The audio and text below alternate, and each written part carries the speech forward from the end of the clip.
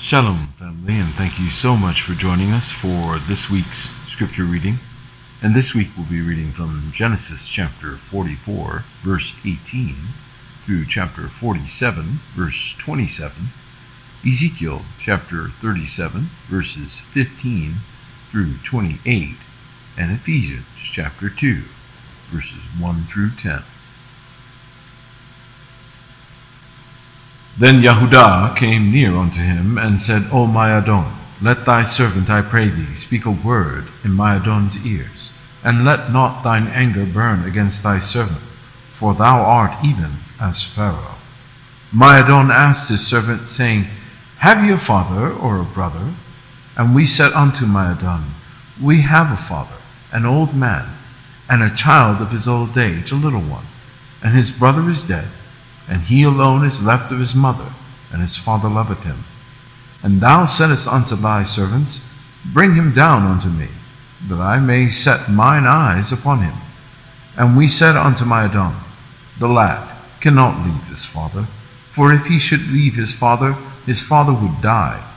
And thou saidst unto thy servants, Except your youngest brother come down with you, you shall see my face no more. And it came to pass, when we came up unto thy servant my father, we told him the words of my Adon. And our father said, Go again and buy us a little food. And we said, We cannot go down. If our youngest brother be with us, then will we go down. For we may not see the man's face, except our youngest brother be with us. And thy servant my father said unto us, Ye know that my wife bare me two sons and the one went out from me. And I said, Surely he is torn in pieces, and I saw him not since. And if you take this also from me, and mischief befall him, ye shall bring down my gray hairs with sorrow to the grave. Now therefore, when I come to thy servant my father, and the lad be not with us, seeing that his life is bound up in the lad's life, it shall come to pass, when he seeth that the lad is not with us, that he will die. And thy servant shall bring down the gray hairs of thy servant our father with sorrow to the grave. For thy servant became surety for the lad unto my father, saying, If I bring him not unto thee, then I shall bear the blame to my father forever. Now therefore I pray thee, let thy servant abide instead of the lad, a bondman to my Adon and let the lad go up with his brethren. For how shall I go up to my father, and the lad be not with me? Lest peradventure I see the evil that shall come on my father. Then Joseph could not refrain himself before all them that stood before him, and he cried, Cause every man to go out from me. And there stood no man with him, while Joseph made himself known unto his brethren. And he wept aloud, and the Egyptians and the house of Pharaoh heard. And Joseph said unto his brethren, I am Joseph. Doth my father yet live? And his brethren could not answer him, for they were troubled at his presence. And Joseph said unto his brethren, Come near to me, I pray you. And they came near, and he said, I am Joseph your brother, whom ye sold into Egypt. Now therefore be not grieved, nor angry with yourselves, that ye sold me hither. For Elohim did send me before you to preserve life. For these two years hath the famine been in the land, and yet there are five years, in the which there shall neither be earing nor harvest. And Elohim sent me before you to preserve you, a posterity in the earth and to save your lives by a great deliverance. So now it was not you that sent me hither, but Elohim. And he hath made me a father to Pharaoh, and Lord of all his house, and a ruler throughout all the land of Egypt. Haste ye, and go up to my father, and say unto him, Thus saith thy son Joseph, Elohim hath made me Adon of all Egypt. Come down unto me, tarry not. And thou shalt dwell in the land of Goshen, and thou shalt be near unto me, thou and thy children and thy children's children, and thy flocks and thy herds, and all that thou hast. And there will I nourish thee. For yet there are five years of famine, lest thou and thy household, and all that thou hast, come to poverty. And behold, your eyes see, the eyes of my brother Benjamin, that is, my mouth that speaketh unto you. And ye shall tell my father of all my glory in Egypt, and of all that you have seen. Ye shall haste and bring down my father hither. And he fell upon his brother Benjamin's neck and wept. And Benjamin wept upon his neck. Moreover, he kissed all his brethren and wept upon them. And after that, his brethren talked with him. And the fame thereof was heard in Pharaoh's house, saying, Joseph's brethren are come. And it pleased Pharaoh well, and his servants. And Pharaoh said unto Joseph, Say unto thy brethren, This do ye, lade your beasts, and go, get you unto the land of Canaan, and take your father and your households, and come unto me, and I will give you the good of the land of Egypt, and ye shall eat the fat of the land. Now thou art commanded, this do ye, take you wagons out of the land of Egypt for your little ones, and for your wives, and bring your father, and come. Also, regard not your stuff, for the good of all the land of Egypt is yours. And the children of Yasharel did so. And Joseph gave them wagons according to the commandment of Pharaoh, and gave them provision for the way. To all of them he gave each man changes of raiment, but to Benjamin he gave three hundred pieces of silver and five changes of raiment. And to his father he sent after this manner ten asses laden with the good things of Egypt, and ten she asses laden with corn and bread and meat for his father by the way. So he sent his brethren away, and they departed. And he said unto them, See that ye fall not out by the way. And they went up out of Egypt, and came into the land of Canaan, unto Jacob their father, and told him, saying, Joseph is yet alive, and he is governor over all the land of Egypt. And Jacob's heart fainted, for he believed them not. And they told him all the words of Joseph, which he had said unto them. And when he saw the wagons which Joseph had sent to carry him, the spirit of Jacob their father was revived. And Yasharel said, It is enough. Joseph my son is yet alive. I will go and see him before I die. And Yasharel took his journey with all that he had, and came to Beersheba, and offered sacrifices unto the Elohim of his father Isaac. And Elohim spake unto Yasharel in the vision of the night, and said, Yaakov, Yaakov. And he said, Here am I. And he said, I am Elohim, the Elohim of thy father. Fear not to go down into Egypt, for I will there make of thee a great nation. I will go down with thee into Egypt, and I will also surely bring thee up again. And Joseph shall put his hand upon thine eyes. And Jacob rose up from Beersheba, and the sons of Yasharel carried Jacob their father, and their little ones, and their wives, in the wagons which Pharaoh had sent to carry him. And they took their cattle and their goods, which they had gotten in the land of Canaan, and came into Egypt, Jacob and all his seed with him, his sons and his sons' sons with him, his daughters and his sons' his daughters, and all his seed brought he with him into Egypt.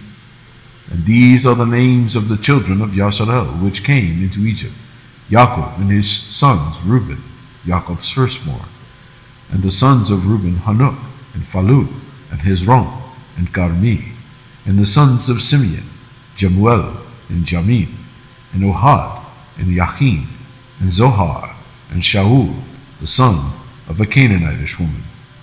And the sons of Levi, Gershon, Kohath, and Merari. And the sons of Yahudah, Ur, and Onan, and Shelah, and Pharez, and Zarah. But Er and Onan died in the land of Canaan. And the sons of Pharez were Hezron and Hamul. And the sons of Issachar, Tola, and Phuvah, and Job, and Shimron. And the sons of Zebulun, Sered, and Elon, Jahleel. These be the sons of Leah, which he bare unto Jacob in Padan Aram, with his daughter Dinah. All the souls of his sons and his daughters were thirty and three. And the sons of Gad, Ziphion, and Haggi, Shuni, and Ezbon, Eri, and Arodi, and Areli. And the sons of Asher, Jimnah, and Ishua, and Ishui, and Beriah, and Serah their sister, and the sons of Beriah, Heber, and Malchiel. These are the sons of Zilpah, whom Laban gave to Leah his daughter. And these she bare unto Yaakov, even sixteen souls, the sons of Rachel, Yaakov's wife, Joseph and Benjamin. And unto Joseph in the land of Egypt were born Manasseh and Ephraim, which Asenath, the daughter of Potiphera, priest of On, bare unto him. And the sons of Benjamin were Bela and Becher, and Ashbel, Gera, and Naaman, Ahi, and Rosh, Muppim, and Huppim, and Ard. These are the sons of Rachel, which are born to Jacob. All the sons were fourteen. And the sons of Dan, Hushim, and the sons of Naphtali, Jahzeel, and Guni, and Jezer, and Shillem. These are the sons of Bilhah, which Laban gave unto Rachel his daughter, and she bare these unto Jacob. All the souls were seven. All the souls that came with Jacob into Egypt, which came out of his loins, beside Jacob's sons' wives, all the souls were threescore and six. And the sons of Joseph, which were born him in Egypt, were two souls. All the souls of the house of Jacob, which came into Egypt, were threescore and ten. And he sent Yehudah before him unto Joseph, to direct his face unto Goshen. And they came into the land of Goshen. And Joseph made ready his chariot, and went up to meet Yasharel his father, to Goshen, and presented himself unto him. And he fell on his neck, and wept on his neck a good while. And Yasharel said unto Joseph, Now let me die, since I have seen thy face, because thou art yet alive. And Joseph said unto his brethren, and unto his father's house, I will go up and show Pharaoh, and say unto him, My brethren and my father's house, which were in the land of Canaan, are come unto me. And the men are shepherds, for their trade hath been to feed cattle, and they have brought their flocks and their herds and all that they have. And it shall come to pass when Pharaoh shall call you, and shall say, What is your occupation? That you shall say, Thy servant's trade has been about cattle from our youth even until now, both we and also our fathers, that ye may dwell in the land of Goshen. For every shepherd is an abomination unto the Egyptians. Then Joseph came and told Pharaoh, and said, My father and my brethren, and their flocks, and their herds, and all that they have, are come out of the land of Canaan, and behold, they are in the land of Goshen. And he took some of his brethren, even five men, and presented them unto Pharaoh. And Pharaoh said unto his brethren, What is your occupation? And they said unto Pharaoh, Thy servants are shepherds, both we and also our fathers. And they said moreover unto Pharaoh, For to sojourn in the land are we come. For thy servants have no pasture for their flocks, for the famine is sore in the land of Canaan. Now therefore, we pray thee, let thy servants dwell in the land of Goshen. And Pharaoh spake unto Joseph, saying, Thy father and thy brethren are come unto thee. The land of Egypt is before thee. In the best of the land, make thy father and brethren to dwell. In the land of Goshen, let them dwell. And if thou knowest any men of activity among them, then make them rulers over my cattle. And Joseph brought in Jacob his father and set him before Pharaoh. And Jacob blessed Pharaoh. And Pharaoh said unto Jacob, How old art thou? And Jacob said unto Pharaoh, The days of the years of my pilgrimage are an hundred and thirty years. Few and evil have the days of the years of my life been, and have not attained unto the days of the years of the life of my fathers in the days of their pilgrimage. And Jacob blessed Pharaoh, and went out from before Pharaoh. And Joseph placed his father and his brethren, and gave them a possession in the land of Egypt, in the best of the land, in the land of Ramses, as Pharaoh had commanded. And Joseph nourished his father and his brethren, and all his father's household, with bread according to their families. And there was no bread in all the land, for the famine was very sore, so that the land of Egypt and all the land of Canaan fainted by reason of the famine. And Joseph gathered up all the money that was found in the land of Egypt and in the land of Canaan for the corn which they bought. And Joseph brought the money into Pharaoh's house. And when money failed in the land of Egypt and in the land of Canaan, all the Egyptians came unto Joseph and said, Give us bread, for why should we die in thy presence? For the money faileth. And Joseph said, Give your cattle, and I will give you for your cattle if money fail. And they brought their cattle unto Joseph, and Joseph gave them bread in exchange for horses, and for the flocks, and for the cattle of the herds, and for the asses, and he fed them with bread for all their cattle for that year.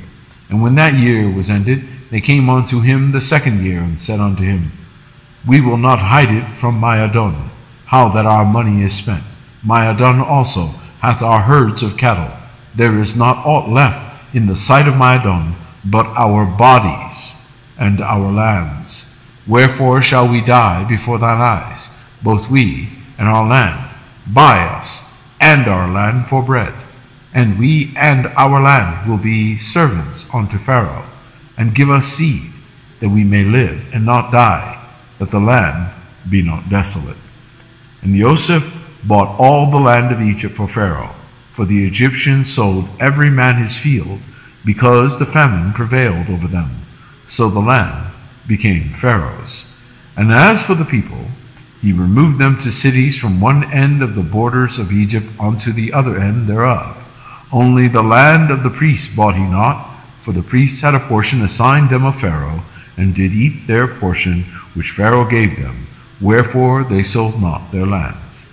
Then Joseph said unto the people, Behold, I have bought you this day and your land for Pharaoh. Lo, here is seed for you, and ye shall sow the land. And it shall come to pass in the increase that ye shall give the fifth part unto Pharaoh, and four parts shall be your own, for seed of the field, and for your food, and for them of your households, and for food for your little ones. And they said, Thou hast saved our lives. Let us find grace in the sight of my Adon, and we will be Pharaoh's servants. And Joseph made it a law over the land of Egypt unto this day that Pharaoh should have the fifth part, except the land of the priests only, which became not Pharaoh's. And Yasharel dwelt in the land of Egypt, in the country of Goshen, and they had possessions therein, and grew, and multiplied exceedingly. Ezekiel chapter 37, verse 15. The word of Yahuwah came on the word of Yahuwah came again unto me, saying, Moreover, thou son of man, take thee one stick, and write upon it for Yahudah, and for the children of Yasharel his companions, and then take another stick, and write upon it for Joseph, the stick of Ephraim, and for all the house of Yasharel his companions, and join them one to another into one stick, and they shall become one in thine hand. And when the children of thy people shall speak unto thee, saying, Wilt thou not show us what thou meanest by these? Say unto them, Thus saith Yahuwah Elohim, Behold, I will take the stick of Joseph, which is in the hand of Ephraim, and the tribes of Yasharel his fellows, and will put them with him, even with the stick of Yahudah, and make them one stick, and they shall be one in mine hand. And the sticks whereon thou writest shall be in thine hand before their eyes. And say unto them, Thus saith Yahuwah Elohim, Behold, I will take the children of Yasharel from among the heathen, whither they be gone, and will gather them on every side, and bring them into their own land. And I will make them one nation in the land upon the mountains of Yasharel, and one king shall be king to them all, and they shall be no more two nations, neither shall they be divided into two kingdoms any more at all, neither shall they defile themselves any more with their idols, nor with their detestable things, nor with any of their transgressions, but I will save them out of all their dwelling places wherein they have sinned, and will cleanse them. So shall they be my people, and I will be their Elohim. And David my servant shall be king over them, and they all shall have one shepherd, and they shall also walk in my judgments, and observe my statutes, and do them. And they shall dwell in the land that I have given unto Jacob my servant, wherein your fathers have dwelt, and they shall dwell therein, even they, and their children, and their children's children forever. And my servant David shall be their prince forever. Moreover, I will make a covenant of peace with them. It shall be an everlasting covenant with them. And I will place them and multiply them, and will set my sanctuary in the midst of them forever. My tabernacle also shall be with them. Yea, I will be their Elohim, and they shall be my people. And the heathen shall know that I, Yahuwah, do sanctify Yasharel, when my sanctuary shall be in the midst of them forevermore. Ephesians chapter 2, verse 1. And you hath he quickened, who were dead in trespasses and sins, wherein in times past ye walked according to the course of this world, according to the prince of the power of the air, the spirit that now worketh in the children of disobedience, among whom also we all had our conversation in times past in the lusts of our flesh, fulfilling the desires of the flesh and of the mind, and were by nature the children of wrath, even as others. But Elohim, who is rich in mercy, for his great love wherewith he loved us, even when we were dead in sins, hath quickened us together with Mashiach. By grace ye are saved, and hath raised us up together, and made us sit together in heavenly places in Mashiach Yahusha, that in the ages to come he might show the exceeding riches of his grace in his kindness toward us through Mashiach Yahusha. For by grace are ye saved through faith, and that not of yourselves. It is the gift of Elohim, not of works, lest any man should boast. For we are his workmanship, created in Mashiach Yahusha, unto good works, which Elohim hath before ordained that we should walk in them. Thank you so much for joining us. Shabbat Shalom.